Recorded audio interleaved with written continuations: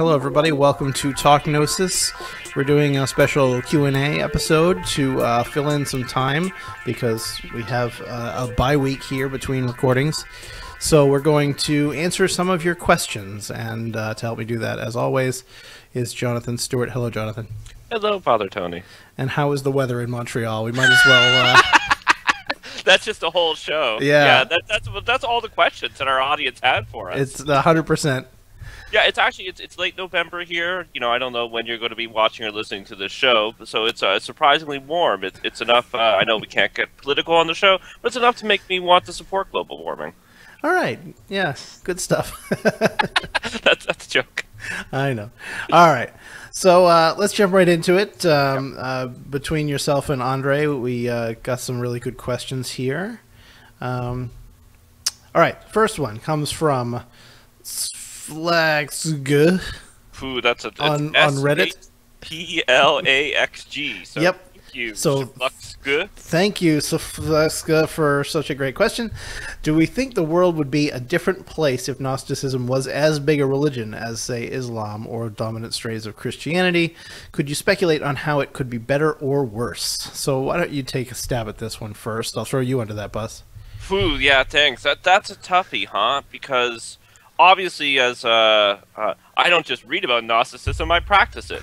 So, so there, has got to be a, a, reason why I think Gnosticism and uh, uh, Gnostic religion is is fantastic and great, right? You know, I don't necessarily believe it to be better or superior to other religions, but there is a reason why I have converted to it. So, I, I, I guess I'm I'm pretty bad at like trying to I don't know we're not really a, a converting or proselytizing tradition, which is good because I think I'd be pretty bad at it. uh, because well, I, yeah, I, it's a good thing you don't make a video every week about it. Then good thing I don't make a video every week about it. Um, because uh, the ruminating on this on this question, I mean, I mean, just packed into Christianity or Islam, right? You have so much good stuff right? And you, you have this, the straight teachings of Jesus, which are go out and help the poor, right? Give up your own life uh, over over fighting or um, or, or, killing. And uh, in the world uh, with these dominant religions, um, often seems to be a pretty cruddy place, and we often see strains of these religions that that seem to be pretty cruddy and oppressive, right? Uh, not all of them, obviously. Mm-hmm. So I wonder if Gnosticism was as big as as some of the dominant religions uh, that are in the world, would it become as corruptish and um, uh, um, oppressive too, just by the size of the numbers and, and the way that our world is uh, ordered under the archons and the demiurge. So I, I, think that that's a strong possibility. On the other hand, would Gnosticism inoculate itself against that? Because we kind of have these narratives built into Gnosticism that Gnosticism is kind of suspicious of religion uh, suspicious of power, uh, suspicious of of, uh, of, of the demiurge, the demiurgical systems. Um, we have had large Gnostic movements, um, and the two largest were uh, were very pacifist. So we had the Manichaeans, which was a, a huge religion uh, that that was worldwide, uh, and we had the Cathars, and both of them were, were very oppressed. And because they were both pacifist religions, they couldn't really do much to fight back. So I guess that's my, my speculation. Uh, maybe we will know. Maybe Gnosticism will take its place as one of the world's great religions uh, within the, the, next couple decades, and, and we'll see. But that, that's some of my speculation. I guess I have neither a yes nor no on that. Uh, Father? I uh, I don't think it ever would be really as big as um, you know some of the the more mainline religions, uh, and I think that's probably a good thing. Um, but that's not specifically the question, but I'd like to answer this one first, I guess. Um, the the reason why I don't think that a mainline Gnostic religion would be a good thing is that it's just not appealing to the vast majority of people. Um, in a very elitist kind of way. You know what I mean? Like the, most people don't want to spend the time and the effort uh, on the kinds of work that it takes to be a successful quote unquote Gnostic, whatever that means. Um, heck, I don't even want to do it, but here I am. Um, yeah. And that's fine, and it's not uh, it's not a bad thing. It's, I'm not casting aspersions on aspersions on people who are, um, uh, you know, just going about their daily lives and doing their thing. You know, that's that's most of us. So, um, so I think that it it has always been and will always be a, minor- a minority religion, um, just out of the nature of what it takes to be a part of it. Um, Now, that being said, uh, it, were it as big as, say, Islam or Christianity, um, I think it would be very different. I don't think that you would see. So, I it, this isn't particularly controversial, but the way that I see religions developing is that you have a um, an initial mystical experience, uh, a gnosis experience, that um, the person who has it, person or group who has it initially, uh, goes and talks about it to other people. Uh, and then those other people become followers and they try and recreate that gnosis experience. Uh, some do and some don't, and rules are created and traditions build up around it uh, in order to facilitate that um, that sharing that experience with others. Um, but in one or two generations, that's largely gone, right? And, and you are left with the rules and the traditions and the things that surround it, which in and of themselves are, are fine and um, almost universally uh, make the world better, except when they don't. Um, so I think Gnosticism would go that way, were it a huge religion, and you know that wouldn't be great.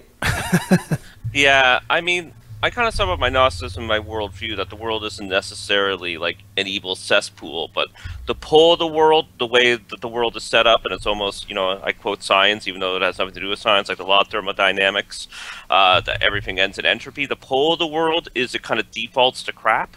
Um, so we're always like it. That's not necessarily a judgment, right? It's not necessarily a moral thing. It's just that eventually everything kind of defaults to crap. So we uh, uh, we strive against that. So I, I think with that constant pull to default to crap, a worldwide huge Gnostic religion with you know it by default it defaults to crap. So you always have to push against that. Anyway, I I think we tackled that one. Sure. Yep. Yeah. I also like default to crap as uh, Yes. That's how it, any hoozle. Um, so uh, what's next? Why don't, why don't you read us the next one? Here? Sure. Uh, Father, does Gnosticism promote escapism through the promise of uh, refuge in a better non physical realm? And uh, doesn't it really encourage people to hate their bodies and it leads to all sorts of like kind of mental and self esteem problems? And that's from Ceaseless Becoming. Thank you, ceaseless becoming. Uh, yeah, so that that comes up a lot. Um, the uh, the world hating dualist uh, Gnostics. You know, if you hate the world so much, why don't you just kill yourselves and you know get a put yourself out of our misery? Um, the uh, so I I default to Miguel on this one. Um, in fact, he talked about it on the last episode. Um, that he actually I don't know if it's the last episode. I don't know how far behind I am in my podcasts, but um, uh, with uh, uh, I want to say Stephen Smith. Is that the guy's name?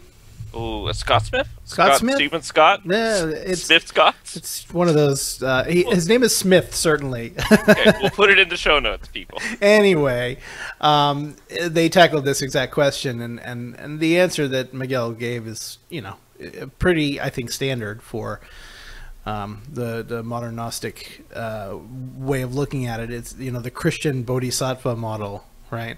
That part of the Gnosis experience is the desire to pass that on to somebody else, you know.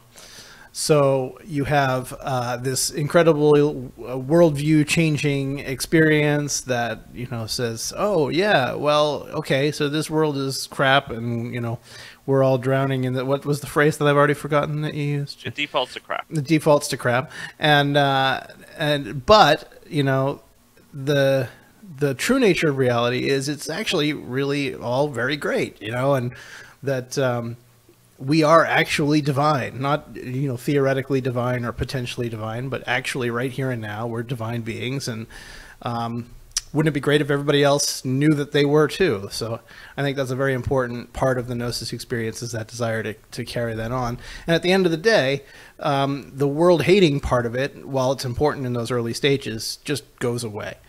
Yeah. It just it just isn't important anymore. Like who cares if the world is an awful cesspool? Um, it you know we're all here anyway, and we're all stuck here, and we all have the same. You know, we we all have to work hard to, to pull together to uh, to make it better for everybody. So. Yeah that's how I would kind of answer that question. That it's a it's a promise of refuge in this realm, not a promise of refuge in a future potential um, non-physical realm. Yes. Yeah.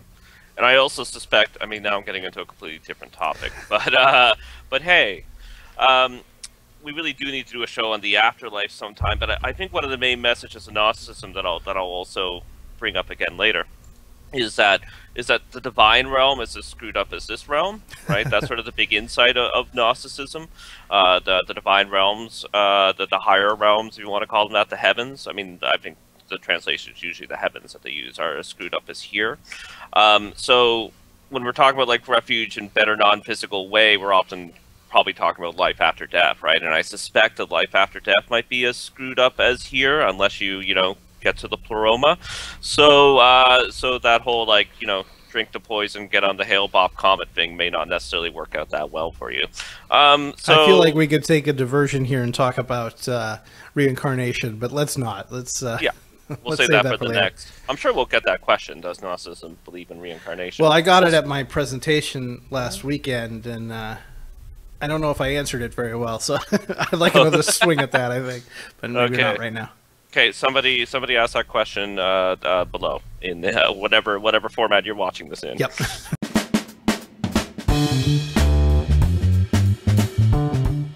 Sorry to interrupt, but we need your help. Talk Gnosis and all of the shows on the Gnostic Wisdom Network are free and will always be free, but it does cost us a lot of time and money to actually make these shows. So what I'd like to ask is that if you have enjoyed our programming, if you've found something useful uh, about it, if you've been educated, please consider becoming a patron over on our Patreon campaign at patreon.com slash Gnostic. That's P-A-T-R-E-O-N dot com slash Gnostic.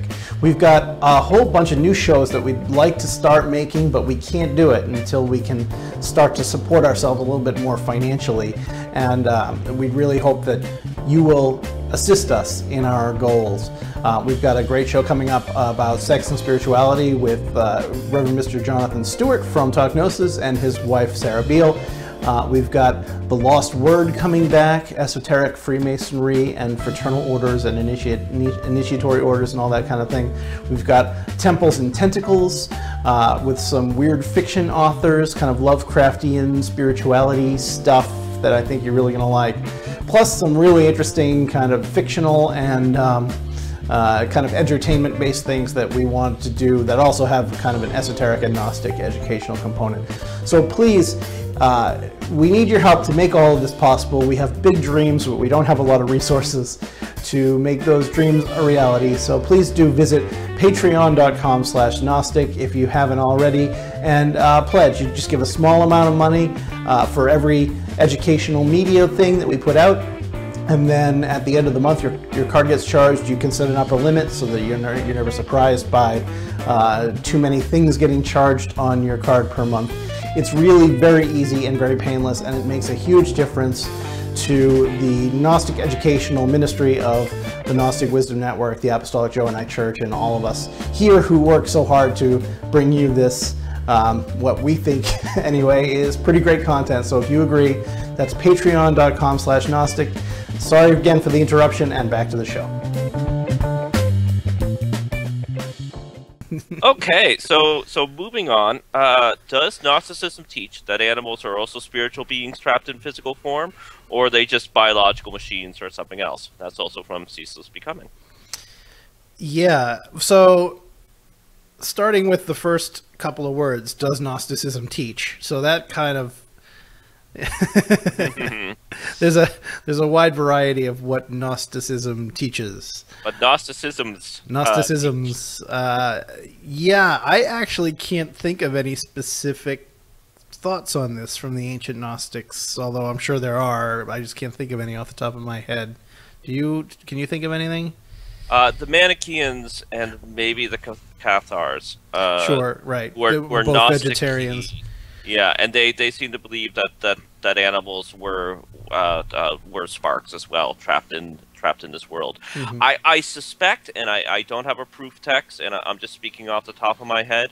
I, I suspect that the Sethians and, and other related Gnostic traditions, earlier Gnostic traditions, probably did just view animals as, as spiritual be or not as spiritual beings, but as biological machines. So, Yeah. but some of the later gnostic movements, they did seem to think that they, they did have some sort of divine element, even if it wasn't, you know, quite as divine as humans. Right, right. Um, I've had a note kicking around in my Evernote for a long time that I've been just throwing thoughts into about uh, Gnostic environmentalism, right? Because you know, as as world-hating dualists, why the hell should we care if we're polluting the environment and all that stuff? Um, so I've been throwing some notes together on along those lines. I should probably add some um, animal rights slash uh, vegetarianism kind of things in that note as well uh, and maybe that will be a presentation at some point also. But um, yeah, so yeah, I don't know. I guess that's it. I, I the you know the Cathars and the uh, and the uh, Manichaeans certainly thought so. Um, I think it's helpful for one's spiritual life. Like, I don't know if it's true. I, I think it's a good exercise to try to see divinity in everything. So, you know, that, that, that panentheism, Mhm. um, uh, so applying that to, to animals and to plants and to, to things around you. Right. So I, I think that is, you, know, an important step on the spiritual path uh, and, and it and can be a whole teaching and actual spiritual exercise in your day-to-day life that I really think can, can help one. Um, right. so yeah, the, even if they're not spiritual beings trapped in a physical form, just uh, considering them as such might um, might help your your psyche and the growth of your gnosis. Right, and you, you know I, you can I still into. eat them though. I still eat them. I know they're, They're still delicious. delicious. Um, sorry, all you vegetarians and vegans out there. I know it's just hard. Um, and it's more expensive to be a vegetarian. You know what I mean? It's It can be, yeah. You can Yeah. get a you can get a cheeseburger for a dollar, but a salad's nine dollars. You know what I mean? Yeah. Um, yeah. So I mean, like you, you get into the um, is it the Jains who who um, who won't kill insects? I think they you know some some of the really hardcore ones will even walk around with a broom and they'll sweep the insects out of the way uh, Yep. in front of them. So. Um, yeah, that's pretty. That's pretty hardcore, and but uh, yeah, it would be an interesting spiritual exercise. And a lot of these things are, you know, a lot of these traditions and um, practices are more for you than for the outside world, right? So in a in a sense that you know having that attitude towards the other created beings and having and you know the, uh, treating them that way is um,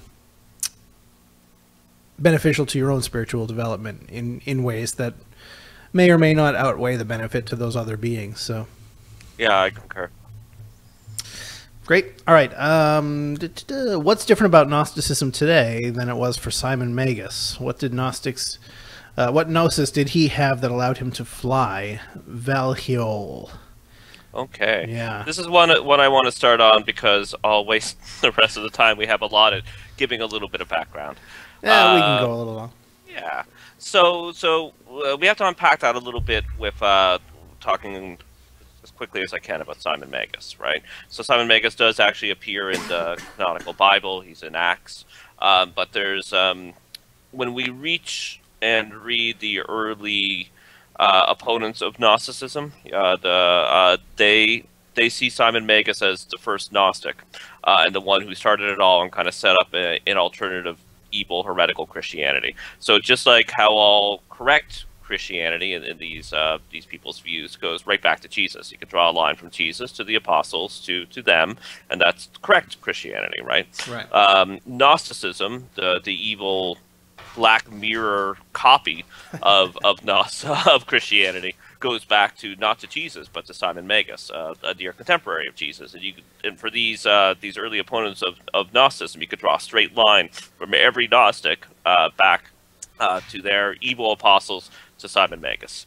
So that may not be historically true, but we kind of have right away we have this impression the Simon Magus guy was was pretty important um, to the early Gnostics. Uh, uh, if he was historical, uh, he may have been at least one of the first people to really promulgate a uh, uh, uh, an elaborate Gnostic system and, and really kind of help the movement grow.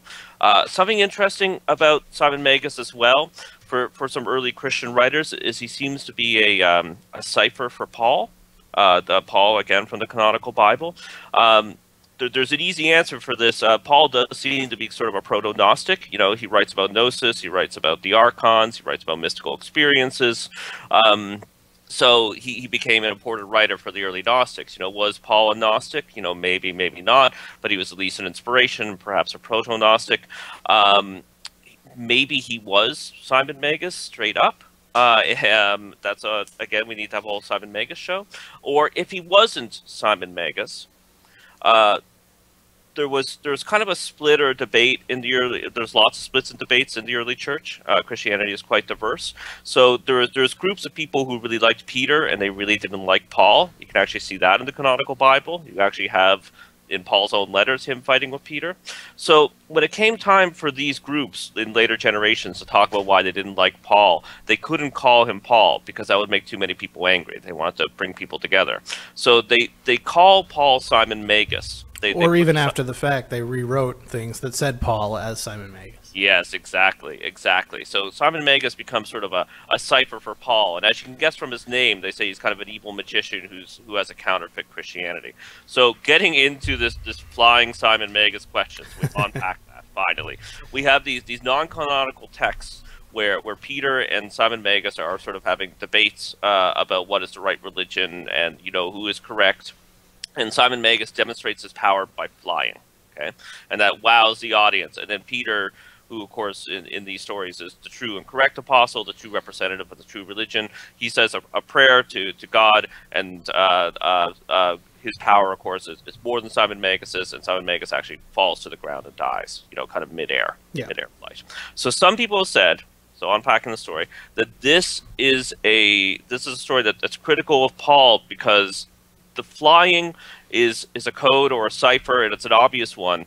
Uh, Paul writes about having mystical ascent experiences. He just hints at it in his writing. He ascends up to uh, to the seventh heaven, right? Yeah. He leaves his body. He has a Gnostic ascent experience, and this this story was a way of criticizing that, and perhaps criticizing all Gnostics for having ascent experiences, which seems to have been very important for the early Gnostics, that they have an ascent experience to the highest realms well in this lifetime. Mm, I so, wanted to um, interject here and just put a plug in for uh, an author you may have heard of. Um, uh, her name is April DeConick. She's a April scholar uh, from uh, Rice University. Um, okay, I think I've heard of her. Yeah, yeah. yeah uh, you may or may not have recently gotten a book by her uh, called "The Gnostic New Age," which I highly recommend for all of our all of our viewers and listeners. Um, and she really kind of breaks down what the Gnostic initiation experience would have been like, or could possibly have been like, um, including the ascent experiences that you're talking about. Very interesting stuff.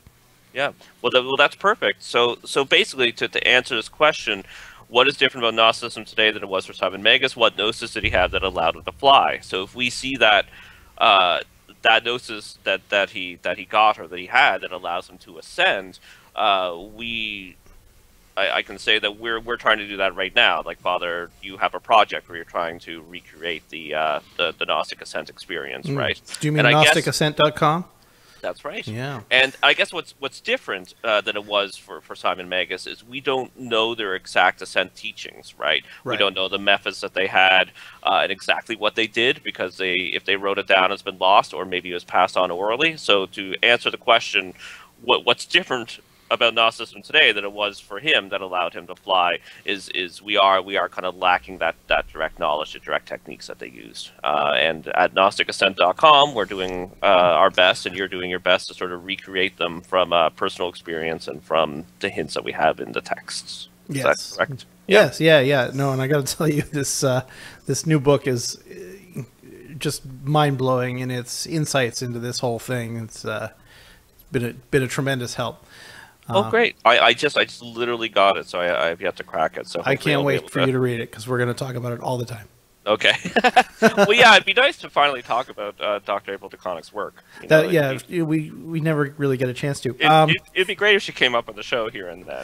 yeah, it'd be great if she came on the show. Please come on the show, Dr. DeConnick. Yeah. Anyway, um, yeah, no, I, I think you pretty much nailed it. Um, a lot of other specific differences about modern Gnosticism as compared to first, second, third century Gnosticism is, um, you know, the the Gnosticism, capital G, you know, ism, is um, for the most part, you know, of course with exceptions, but for the most part, kind of tied up in a um, a Catholic Christian uh, wrapper, I guess you'd say, to mix my metaphors. Yeah. Um, so you'd see a lot of uh, Gnostic ecclesiastical churches, apostolic churches. You know, we belong to one, um, and so that is that is a new development. I mean, in the in the history of Gnosticism, you know, starting in the 18th century and the 19th century, really, um, where these kind of Gnostic churches uh, start popping up with priests and bishops and, and the whole nine. Um, that probably was not the way that Gnosticism looked in the first, second, third century. Of course, that's not the way Christianity really looked in the first, second, third century either. So, um, the only constant in this world being change, uh, you know, we we have um, a different a different window dressing than Gnosticism has has had in the past. Um, I'm always uh, I'm always quick to say that you don't have to be a Christian to be a Gnostic. That's certainly not a requirement. Although, um, because Christianity is kind of the dominant worldview in the West, uh, it makes it a little bit easier to um, to talk about Christianity. I mean, uh, Gnosticism in a Christian context, just because it's the language that people uh, are at least familiar with. So that's um, it. Definitely looks different. We again, we aren't meeting in lodges per se, uh, and you know, doing these ascent rituals underground or whatever, like the uh, the early Gnostics may or may not have done. Um, and I think that's a travesty and needs to be corrected. But but um, yeah, so yeah, I, will we ever recreate second century Gnosticism? No, it won't happen. It can't happen because the world is so different, um, and it shouldn't happen, right? Like I, I think the people who are actively trying to do that, and I, I, I think that they're mistaken. I think that, um, you know, it's the same way that I feel about. we're going to lose some subscribers here. Uh, the same way I feel about kind of the the pagan restoration traditions. Like I, I don't think the world needs that. Um, yeah, be a pagan. Hot takes. This, this, is the hot takes episode. Yeah, I guess so. Yeah, you know, uh, be a pagan, do all that stuff, and have you know, be a polytheist and, and worship your gods the way you want to. Um, don't build a little mud hut out in the forest and you know forget Wi-Fi to do it. In my opinion, but I, I also concur. Like uh, again, we're not saying don't be pagan or Right. that pagan restorationism is uh, uh, completely useless, but it's it's silly to it's silly to to think that uh, we don't live in the modern world. We've got to grapple with the world that we're in. And I'd also like to say, from sort of a religious study standpoint, no religion. Present religion, even though many pretend, uh, looks like it did when it started. You know No, what I mean? absolutely That- not. That goes for every every religion. That goes for Scientology. That goes for Buddhism. That goes for uh, the, you name it. Um, Now, some religions will tell you we're exactly the same as, as we were two thousand years ago, but it's just empirically not true, and and it shouldn't be true because uh, the, the times change. yep. Um, Okay, Okay. we beat that dead horse. yes, yes, we did. Uh, well, here's one uh, that again we could probably do a whole show on. Father, we talked a little bit about it on the uh, the AJC Facebook page, which Yeah. uh, you know, if you're listening to this or watching this and uh, uh, you're not a member, you may want to uh, to join up. Sidebar about that, actually. So somebody asked me if there was a group for um, Talk Gnosis or the Gnostic Wisdom Network on Facebook, and um, I don't think we need one. I think if you want to have these conversations, the the AJC, the Apostolic Johannite Church Facebook page is uh, group rather is the is the place to do it. I mean, you don't have to be a Johannite to go and hang out there, but that's where we are, and that's where we uh, we answer questions. So if you do want to have these kinds of discussions, go go right over there and do that. Please do, and of course, in, in a respectful uh, manner. yeah, well, I mean, I, I hope that goes without saying, but Yeah. recent events may have uh, Unfortunately, it doesn't. so, so a question from Chris Shellen on Facebook that we already kind of tackled a little bit there on Facebook, and you know we could probably spend I don't know uh, the rest of our lives talking about, uh, but we'll give it five minutes. The the archons and the demiurge are they distinct metaphysical beings and realities, or are they more like Jungian archetypes, aspects of the psyche? Yep, definitely. Yep, I, I also say yes. Okay, so moving on. Um, no, gonna, seriously. seriously. Okay, uh, next question. Just a few words on that. Um, oh. The uh, whether they are or not um, is almost irrelevant because you're going to treat them as they are anyway. You know whether they're whether they're real or not, you're going to you treat them as if they're real. Um, because the forces are absolutely real. The the forces that they represent exist, whether they are made up of the collective will of millions of human people, or whether they are forces of nature or any of these things. They they have a reality of their own. Uh, whether or not they are directed by an intelligence is largely irrelevant, right? So, if you if you believe these things are immovable and unchangeable well, you know, why are you a Gnostic? I guess, but yep. uh, um, you know, in the in the worldview of the Gnostic cosmology, we are superior to these forces by nature of the divine spark that exists within us. You know, that divine spark comes from a higher place than these forces do. So, we being superior to them um, can interact with them in that kind of relational way. Uh, and so, and that was the presentation I did last week. I did, I did a presentation on Gnostic magic, you know, what Gnostic magic may have looked like and um, what it could look like today. And, uh, and I think that working with the archons as distinct intelligences um, is, uh, is the way that that was done in the past. And I think it's the way that it can be done today. Yeah, I, I 100% agree. And I think um, even though we are kind of being smart Alex, answering answering yes is very important because the ancient peoples thought about psychology and the mind very different than the way we do. But but it's it's obvious to me, uh, at least, uh, like when you read something like Secret Book of John, right? They're using kind of psychological metaphors a lot of the time. It's right there at the very beginning of the book, mm-hmm. right, where um, um, uh, you have sort of the the one uh, described as a giant mind. Uh, you have psychological processes, uh, you know, forethought and uh, uh, wisdom, imagination. Um, uh, but they're in fancy Greek terms, so you can't quite recognize them as psychological, um, which which is kind of a shame. And we should, you know, I think it's important to emphasize that these, these are just common terms for what goes on in a brain. Right. So, I so I, I think it's also important to to to look at the psychological view as well. But uh, you know, as above, so below. If, if we're kind of an echo of the universe, an echo of everything, uh, then it, if the archons are real and distinct realities, they're also psychological realities. Right. Um, uh, so it, it's not it's not either or. Uh, and uh, you know, uh, um, I was doing teaching centering prayer, sort of in a Gnostic sense at at McGill, and somebody was basically like, "Oh, okay, there's the archons." You know, like uh, now I understand them because there they are in my mind, right? If you sit down and try yeah. to meditate, you're going to meet the archons pretty effing quick, right? Because um, because uh, there they are inside of you as, as, you try to as you try to meditate. Um, also, I'm going to steal something from Bishop Tim Mansfield. Uh, uh, he, he said, I'm not so super certain I am a distinct metaphysical being, so I don't think I'm in a position to judge the archons. Well, um, I, for the record, I am sure that he is a distinct metaphysical being, yeah. so yeah. yeah, me too. no, those are uh, excellent points. Thank you.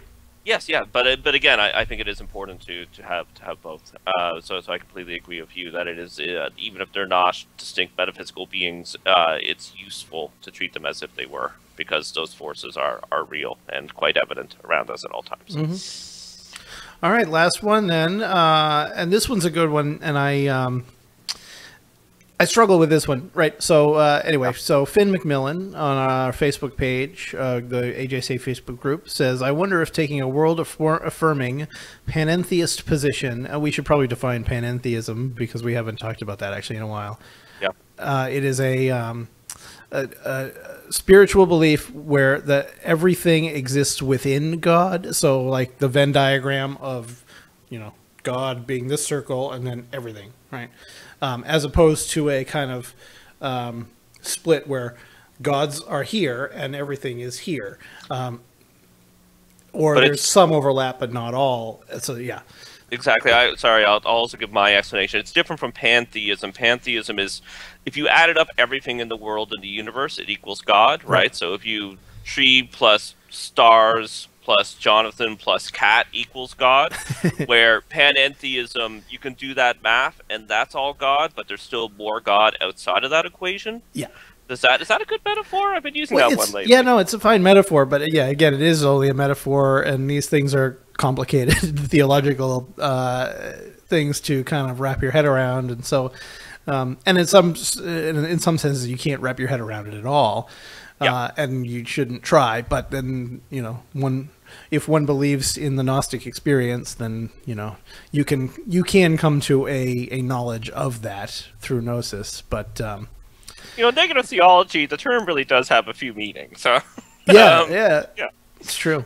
Okay. So sorry. Anyway, okay. right. So panentheism, only because we talked about it a couple times. Um, if I wonder if taking a world-affirming panentheist position as a Gnostic is trying to stretch Gnosticism too far. So I think we talked a little bit about this earlier, also that you know, um, if we're world-hating dualists, you know, uh, and absolutely Gnosticism is a world-hating dualist tradition until it isn't.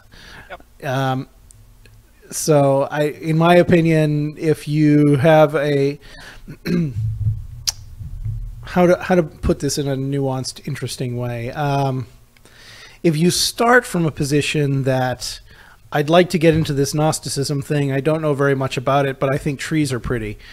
Um, I, I think that you're going to have to make a few mental adjustments as you go when reading the Gnostic scriptures, but I still think you can do it. I think trees are pretty too.